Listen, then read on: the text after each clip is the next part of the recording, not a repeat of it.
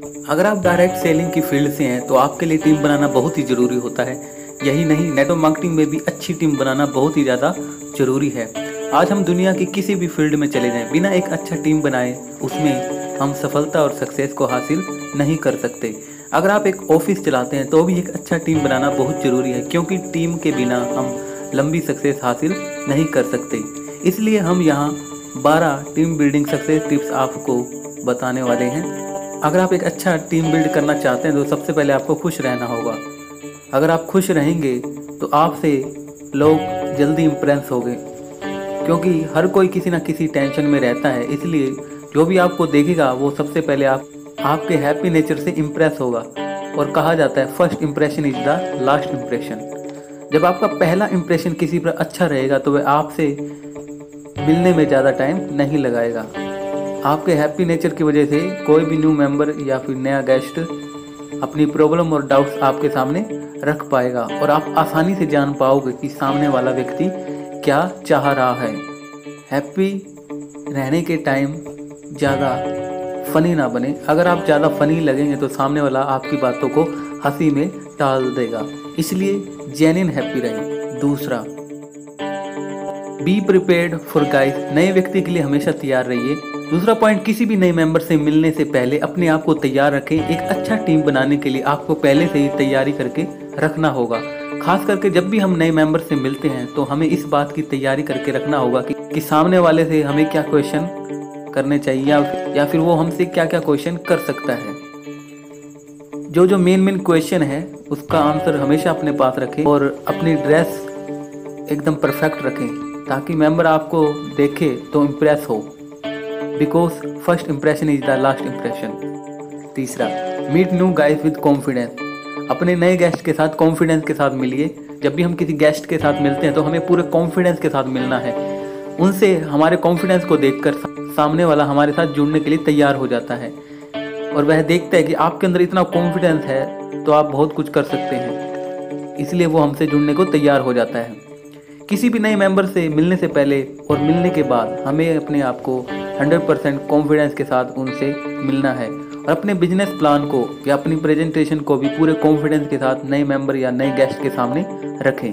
हमेशा इस बात को ध्यान में रखें कि किसी भी चीज़ या प्लान को बताने से पहले आपको खुद उस कंपनी का बिज़नेस प्लान के बारे में पूरी तरह से जानकारी होनी चाहिए। इसके लिए आपको अपने प्लान की अच्छे से स्टडी करना बहुत ज़रूरी है। तभी आप सामने वाले को अच्छे से कन्वेंस कर सकेंगे और अपनी टीम में ज्वाइन करवा पाएँगे। बिज़नेस प्लान को लेकर जो भी सवाल होगा, उसको आप क्लियर कर पाओगे। इसलिए अपने बिज़नेस प्लान को पहले से ही अच्छे से स्टडी करके रखें। मेक हिम कंफर्टेबल नए व्यक्ति को कंफर्टेबल महसूस करवाएँ। जब भी कोई न्यू गेस्ट आपसे मिलने आता है तो उसे कंफर्टेबल फील कराएँ। आप उसके लिए अजनबी हैं, उससे आप अच्छा रिलेशन बना लें। आपका उनसे एक अच्छा रिलेशन बन जाए, जिससे वह आपकी बातों और फीलिंग को आसानी से समझ पाएगा। नंबर पाँच explain opportunity plan with proudly गर्व के साथ अवसर योजना बिज़नेस प्लान की व्याख्या करें। कॉन्फिडेंस के साथ अपना प्लान बताएँ। कोई भी व्यक्ति किसी भी ऑर्डिनरी कंपनी या ऑर्डिनरी प्लान के साथ ज्वाइन नहीं करना चाहेगा। कंपनी या कंपनी का प्लान स्पेशल है ऑर्डिनरी है। आपकी प्रेजेंटेशन देने के तरीके पर ही निर्भर करता है कि आप किस तरह से उसको प्लान दिखा रहे हैं। आप जितना गर्व के साथ अपना बिज़नेस प्लान सामने वाले को दिखाओगे, उतना ही अच्छी तरह से आपकी कंपनी का प्लान के साथ सामने वाला जुड़ना चाहेगा। हमेशा याद रखें मार्केटिंग लाइन में स्पेशली नेटवर्क मार्केटिंग में आपको हमेशा 90 परसेंट तक नेगेटिव रिज़ल्ट मिल सकता है। नए व्यक्ति अगर आपके साथ ज्वाइन ना करे तो इससे परेशान होकर अपना कॉन्फिडेंस कम ना करें। क्योंकि जो 10 परसेंट रिज़ल्ट मिलेगा, वह आपके काम के लिए काफ़ी होता है। नंबर छः be a friend not boss दोस्त की तरह व्यवहार करें ना कि बॉस की तरह। उसे भरोसा दिलाना कि इस काम को करने में आप उसको पूरा सपोर्ट करेंगे। इस काम को करने के लिए आप उनकी हेल्प करेंगे चाहे वह सेल्स को बढ़ाने में हो या किसी मेंबर को प्लान देने में हो या टीम बिल्ड करने में।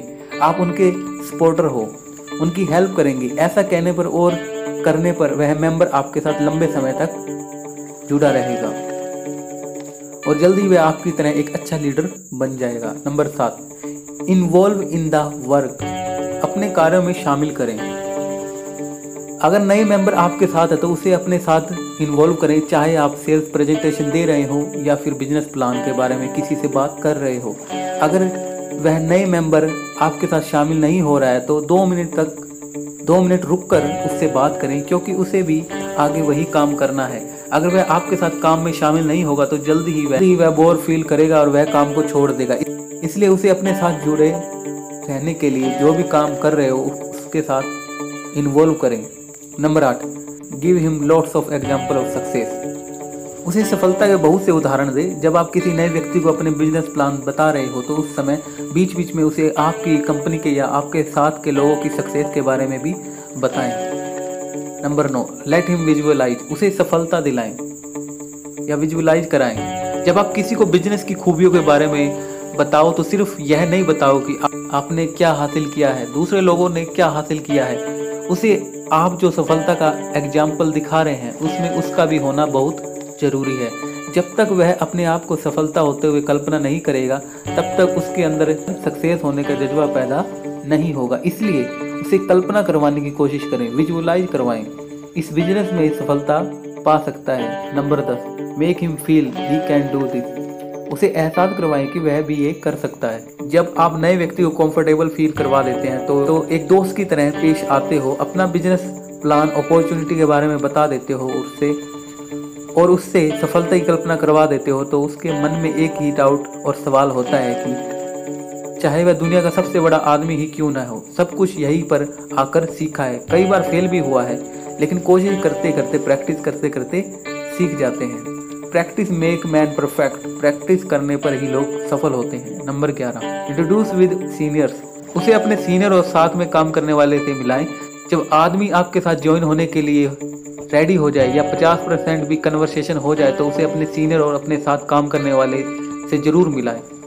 इससे उस पर पॉजिटिव प्रभाव पड़ेगा कि उसके जैसा बहुत से लोग इस तरह से काम कर रहे हैं। अगर आपको डाउट है कि आप न्यू गेस्ट कोई क्वेश्चन किया या सवाल को क्लियर नहीं कर पाए हैं तो सीनियर के सामने, उसके सामने इस बात को ज़रूर शेयर करें या उसके सवाल को अच्छे से क्लियर कर दें। नंबर बारह गिव पॉजिटिव क्लोज बात को पॉजिटिवली ख़त्म करें। अपनी सारी प्लानिंग जो आपने की थी इम्प्लीमेंट करने के बाद आखिर में नए व्यक्ति को पॉजिटिवली ज्वाइनिंग करवाएँ। उनसे कोई नेगेटिव सवाल पूछना पॉइंट वाली बात को समझाना और उनको ज्वाइन करना चाहिए, उनके टच में रहना चाहिए। इससे वह मेंबर आपसे जुड़ा रहेगा। तो दोस्तों, ये थे बारह टिप्स जिनको अपना कर आप एक अच्छा टीम बिल्ड कर सकते हो, साथ में बहुत सारे लोगों को टीम में ज्वाइन करा सकते हो और उनको अपने जैसे और अपने से बेहतर लीडर बना सकते हो, जिससे आपको एक अच्छा इनकम और टाइम फ्रीडम मिल सकता है। यह जानकारी आपको ज़रूर अच्छी लगी होगी। तो वीडियो को लाइक कर दीजिएगा और अगर आप हमारे चैनल पर नए हैं तो चैनल को सब्सक्राइब करना मत भूलिएगा। दोस्तों, आज की ऑडियो बुक में बस इतना ही। मिलते हैं नेक्स्ट ऑडियो बुक में। तब तक के लिए धन्यवाद।